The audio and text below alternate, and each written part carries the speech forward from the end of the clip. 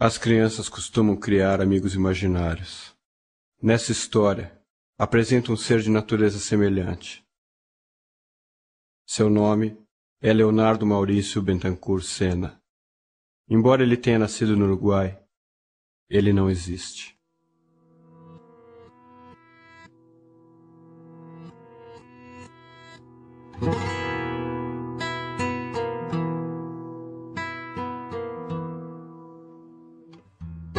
Às vezes, quando estou sozinho, eu pronuncio seu nome em voz alta.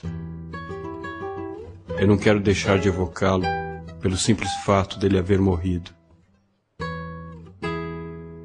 Eu não acredito em Deus. Léo acreditava. E incansavelmente tentou me provar a sua existência. Léo foi a pessoa mais espiritualizada que conhecia. O que nos tornou tão próximos, tão amigos, foi a nossa dedicação à arte e o fato de termos a mesma visão horrenda dos seres humanos. Léo sacrificava-se por isso, para elevar-se e, quem sabe, nos poder salvar. Saiba que Léo rezou por você, pela tua salvação. O penúltimo aniversário que comemorei foi em 1988. Convidei alguns amigos, comprei bebidas e fomos para casa. O Léo tocou pra gente. Uma amiga insistia em mostrar-me o seu carro, que havia sofrido um pequeno acidente. Ao nos aproximarmos do carro, fomos abordados por dois elementos. Eles nos surpreenderam e nos obrigaram a entrar no carro. O carro entrou em movimento. O camarada com um revólver em minha cabeça começou a fazer roleta russa. Havia uma estranha calma em mim.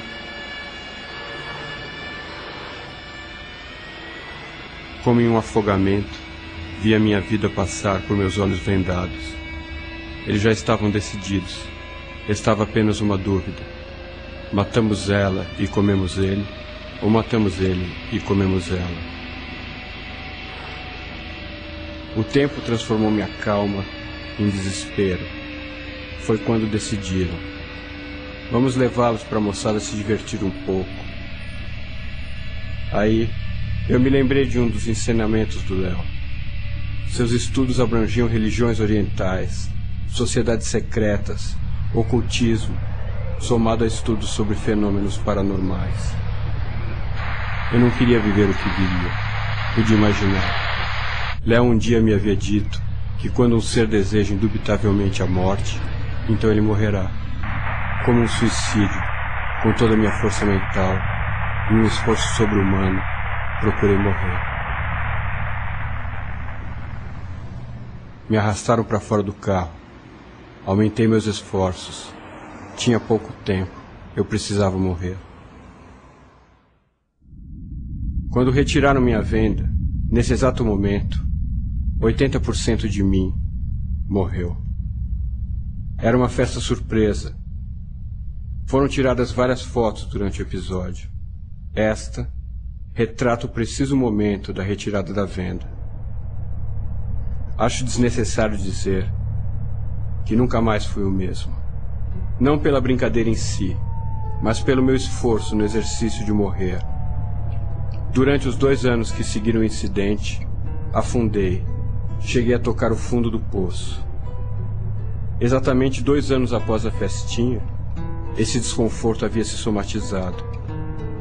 Minha recuperação parcial foi extremamente lenta e profundamente dolorosa. No auge de minha doença, passei três meses deitado no chão, no mesmo lugar. Praticamente não comia, não me banhava, minhas unhas rasgavam a carne dos dedos que se avizinhavam. O Léo visitou-me quase diariamente nesse período. Ele sentava-se ao meu lado e permanecia em silêncio, velando por mim.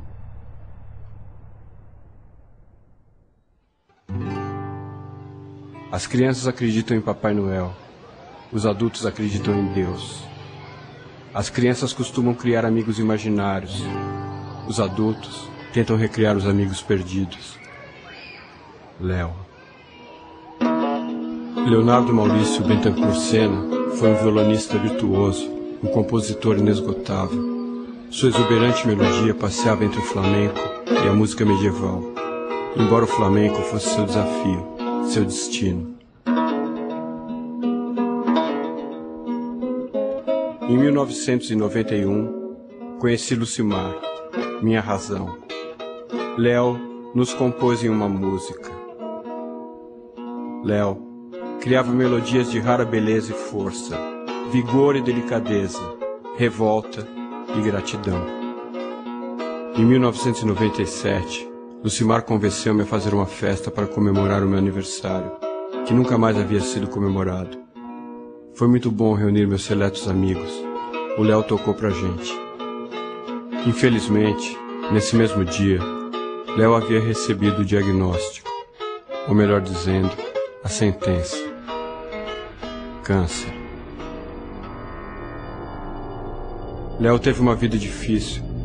Seu humor de infames trocadilhos bilíngues era uma tentativa de disfarçar sua melancolia. Quando sua vida ameaçava recompensar o seu sofrimento, surge a doença, com um sofrimento à potência. Léo parecia recuperar-se bem. Dizia ainda não saber sobre a natureza de seu tumor, se maligno ou não. No dia 1 de julho, recebi seu chamado. Tato, seu irmão, mandou-me a mensagem.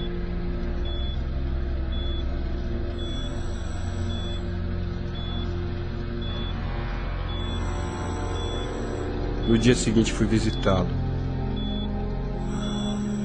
Seu corpo havia se transformado no instrumento de sua dor, produzindo uma música infernal composta por um gemido ininterrupto e espasmos de uma dor lancinante.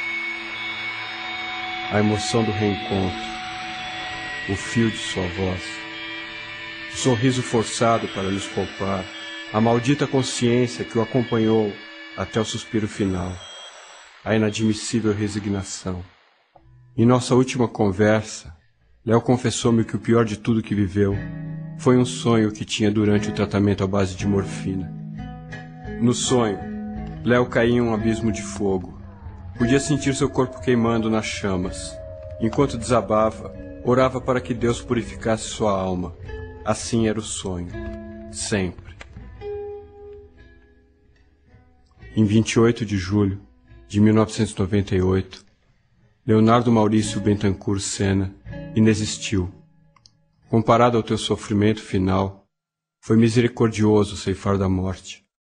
Nesse dia, uma frase do nosso velho Dom Ata falava por mim. Mañana, cuando amanezca, han de oír los campesinos un nuevo canto en el agua, mitad canto, mitad grito. Me desculpe se dessa vez não lhe apresento um final surpreendente ou personagens interessantes. Essa é a última homenagem que um homem sem fé presta a um grande amigo.